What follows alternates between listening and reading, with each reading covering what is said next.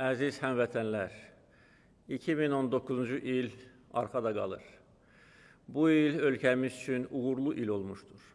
İlin əvvəlində qarşımıza qoyduğumuz bütün vəzifələr uğurla icra edildi. Azərbaycan öz inkişaf yolu ilə uğurla gedirdi. 2019-cu ildə ölkəmiz sabitlik, əminamanlıq şəraitində yaşamışdır. Dünyada gedən proseslər göz qabağındadır. Dünyanın müxtəlif yerlərində, bizim yerləşdiyimiz regionda, postsovet məkanında, Avropada, Asiyada, Latin Amerikasında münaqişələr, müharibələr, qanlı toqquşmalar, kütləvi etiraz aksiyaları, polis zorakılığı, insan haqlarının tapdalanması geniş vüsət almışdır. Azərbaycan isə sabitlik məkanıdır, inkişaf məkanıdır. Bu bizim böyük nailiyyətimizdir. Azərbaycan xalqı 2019-cu ildə təhlükəsizlik şəraitində yaşamış, qurmuş, yaratmışdır. Bizim beynəlxalq bölgələrimiz daha da möhkəmləndi. İl ərzində 40-dan çox dövlət və hökumət başçısı Azərbaycana səfər etmişdir. Bizim ikitərəfli əlaqələrimiz böyük dərəcədə genişləndirilmişdir. Çox tərəfli formatda uğurla əməkdaşlıq edirik. Ölkəmizdə bir neçə mötəbər beynəlxalq tədbir keçirilmişdir. Onların arasında Türk dilli dövlətlərin Əməkdaşlıq Şurasının zirvə görüşünü qeyd etməliyəm. Zirvə görüşü nəticəsində Azərbaycan Türk dilli Əməkdaşlıq Şurasına sədrlik etməyə başlamışdır. Qoşulmama hərəkatının zirvə görüşü Azərbaycanda keçirilmişdir və 120 ölkənin yekdil qərarı ilə Azərbaycan bu böyük təsisata 3 il ərzində sədrlik edəcəkdir. Bu bizə göstərilən böyük etimaddır. Bu onu göstərir ki, dünya aləminin böyük əksəriyyəti Azərbaycanı dəstəkləyir və bizə böyük hörmətlə yanaşır. Bu il Bakıda dünya liderlə, dini liderlərinin zirvə görüşü keçirilmişdir.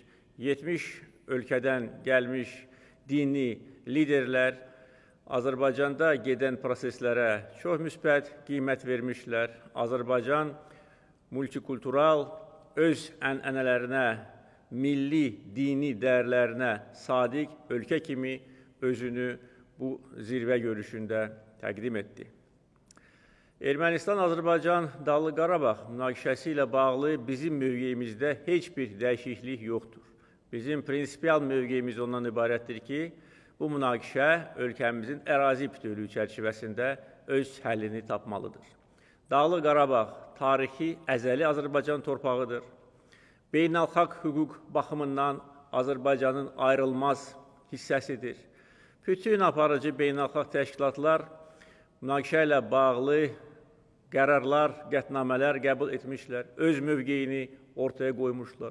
BMT Təhlükəsizlik Şurası 4 qətnamə qəbul etmişdir ki, Orada açıq-aydın göstərilir ki, işğalçı qüvvələr dərhal və qeyd-şərsiz işğal edilmiş torpaqlardan çıxarılmalıdır. Qoşulmama hərəkatı, İslam Əməkdaşlıq Təşkilatı, ATƏT, Avropa Parlamenti, Avropa Şurası Parlament Assambleyası, İslam Əməkdaşlıq Təşkilatı və digər təşkilatlar oxşar qərar və qətnamələr qəbul etmişlər. Avropa İttifaqı ilə Azərbaycan arasında imzalanmış tərəfdaşlıq prioritetləri sənədində Azərbaycanın ərazi bütövlüyünə, suverenliyinə, sərhədlərin toxunulmazlığına böyük dəstək ifadə edilmişdir. Beləliklə, həm tarixi baxımından, həm beynəlxalq hüquqi baxımından Dağlı Qarabağ Azərbaycanın ayrılmaz hissəsidir. İl ərzində münaqişə ilə bağlı Ermənistandan çox ziddiyyətli, bir-birini təksib edən və cəfəng bəyanatlar səslənirdi. Gah deyirdilər ki, Dağlı Qarabağ Qondarma Respublikası müstəqil dövlətdir və Azərbaycan bu dırnaqarası müstəqil dövlətlə danışıqlar aparmalıdır. Bu yalandır. Dağlı Qarabağ müstəqil dövlət deyil. Heç bir ölkə bu qanunsuz qurumu tanımayıb, o cümlədən Ermənistan da tanımayıb. və bu il ərzində danışıqlar prosesi Ermənistan və Azərbaycan arasında aparılmışdı. Beləliklə, bu cəfəng tezis tamamilə darmadağın edilmişdir. Gah deyirlər ki, Dağlı Qarabağ Ermənistandır və nöqtə. Belə populist bəyanatlar vermək olar. Amma bu populist bəyanatların arxasında dayanmaq mümkün deyil. Bu da yalandır. Dağlıq Qarabağ Ermənistan deyil və bütün dünya bilir ki, və mən bunu bir daha bəyan etmişəm ki, Dağlıq Qarabağ Azərbaycandır və nida işarəsi. Əminəm ki, bizim ardıcıl düşünülmüş siyasət münaqişənin həllinə gətirib çıxaracaq. Bizim iqtisadi gücümüz, hərbi gücümüz, siyasi gücümüz, demoqrafik artım, bütün bu amillər bizim mövqeyimizi gücləndirir və əminəm ki, gün gələcək ki, Azərbaycan öz ərazi bütövlüyünü bərpa edəcəkdir. Buna nail olmaq üçün biz daha da güclü olmalıyıq və bu istiqamətdə e, bu il böyük addımlar atılmışdır. 2019-cu il dərin islahatlar ili kimi tarixdə qalacaqdır. Siyasi islahatlar, kadr islahatları, struktur islahatlar, iqtisadi və siyasi və sosial sahədə aparılan islahatlar bizim gücümüzü artırmışdır. Bu il iqtisadiyyat artmışdır. İqtisadiyyatın qeyri-neft sektoru 3 faizdən çox artmışdır. Bizim xarici dövlət borcumuz ümumi daxili məhsulun cəmi 17 faizini təşkil edir. Bu da dünya miqyasında 9-cu göstəricidir və bundan sonraki illərdə xarici borcumuz daha da aşağı düşəcək. Bizim valyuta ehtiyatlarımız bu il artmışdır. 4.5 milyard dollar valyuta ehtiyatlarımız artmışdır və rekord hətta 50 milyard dollara çatmışdır və bizim valyuta ehtiyatlarımız e, xarici dövlət borcumuzdan 5 dəfədən çox artıqdır. Yəni bu e, ölkəmizin iqtisadi və maliyyə imkanlarını, dayanıqlığını e, ifadə edir. Sənaye istehsalı artmışdır, xüsusilə qeyri-neft sektorunda sənaye artımı 14% təşkil etmişdir. Kənd təsərrüfatında 7% artım vardır. Yəni bütün əsas istiqamətlər üzrə ölkəmizin uğurlu inkişafı reallıqdır. Biz e, beynəlxalq inkişaf assosiasiyasının hesabatında donor ölkəyə çevrildik. Biz indi borc alan, yox, borc verən ölkəyik. Bütün bunlar düşünülmüş siyasətin təzahürüdür. Və bütün bu uğurlu nailiyyətlər imkan verir ki, biz sosial sahəyə daha böyük həcmdə vəsait ayıraq və bunu etdik. Bu il də bu baxımdan çox yadda qalan il olmuşdur. Çox geniş, ə, hər tərəfli sosial paket təqdim edildi və bu sosial paket 4 milyon 200 min əhalini əhatə etdi. Müavinətlər, bəzi müavinətlər 50%, bəzi müavinətlər 100% 2 dəfə artmışdır. Minimum əmək haqqı 2 dəfə artmışdır minimum pensiya 70% artmışdır və minimum pensiyanın alıcılıq qabiliyyətinə görə biz bu gün MDB məkanında birinci yerdəyik. Bizim sosial siyasətimiz bir daha onu göstərir və mən dəfələrlə bunu bəyan etmişəm ki, bizim siyasətimizin mərkəzində Azərbaycan vətəndaşı dayanır. Və əminəm ki, gələcək illərdə iqtisadi imkanlarımız genişləndikcə sosial sahəyə bundan da böyük diqqət göstəriləcəkdir. Bu il şəffaflıq baxımından çox uğurlu il olmuşdur. Vergi və gömrük orqanları planından əlavə 1 milyard manatdan çox vəsait xəzinəyə daxil etmişdilər. Əlbəttə ki, bu bizə imkan verir və əminəm ki, bu meyl e, gələn ildə müşahidə olunacaq, imkan verir ki, biz daha geniş miqyasda sosial və infrastruktur layihələri icra edək. Məcburi köçkünlərin problemləri həll olunur.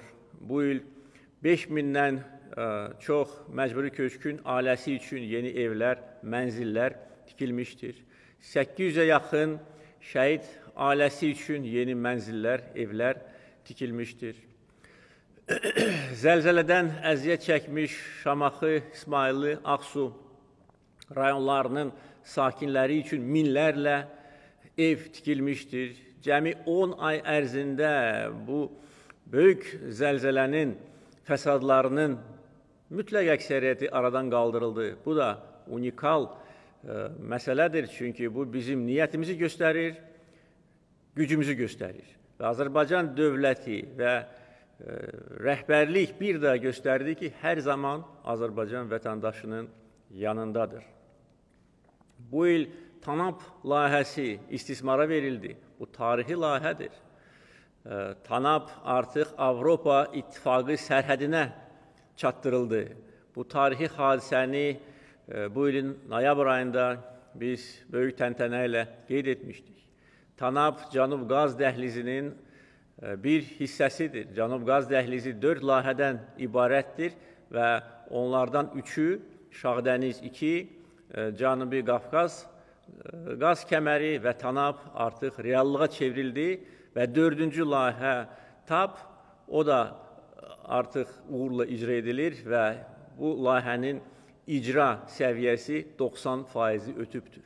Biz Avropanın, Avrasiyanın energetika və nəqliyyat xəritəsini yenidən cızırıq. Biz bu layihənin təşəbbüskarı olmuşuq.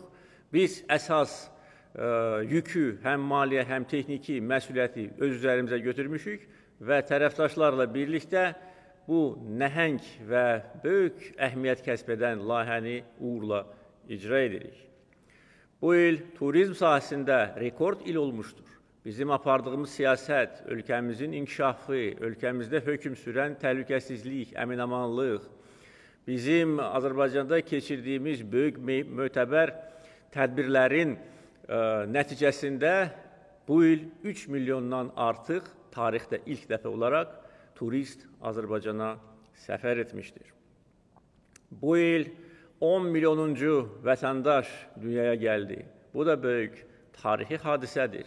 Müstəqillik dövründə bizim əhalimiz 3 milyondan artıq artmışdır. Bu həm bizim gücümüzü artırır, həm də ki, məsuliyyətimizi də artırır. Çünki artan əhali böyük üstünlükdür. Eyni zamanda iqtisadi artım artan əhalini daim qabaqlamalıdır. Və artan əhali o deməkdir ki, yeni məktəblər tikilməlidir, yeni uşaq bağçaları tikilməlidir, yeni xəstəxanalar tikilməlidir, yeni iş yerləri yaradılmalıdır. Və beləliklə Azərbaycanın əhalisi artdıqca gücü də artır və bu il dünyaya gələn bizim gözəl, mehriban balamız e, bizim hamımızı sevindirdi. Allah onu xoşbəxt eləsin, Allah bütün uşaqlarımızı xoşbəxt eləsin, Allah bütün balalarımızı qorusun.